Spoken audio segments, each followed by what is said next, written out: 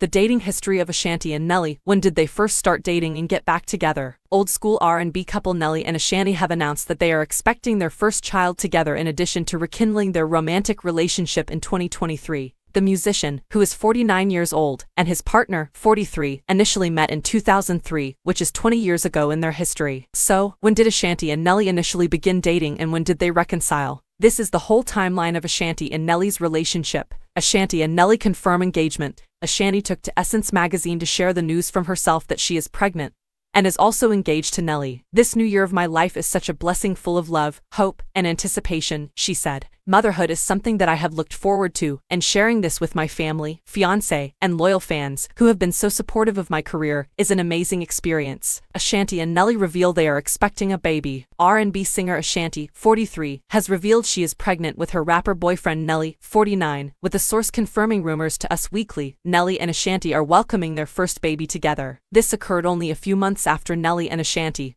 who had been together for 10 years, ended their romantic relationship. Although Ashanti and Nelly have not yet made their child's due date public, we do know it will occur in 2024.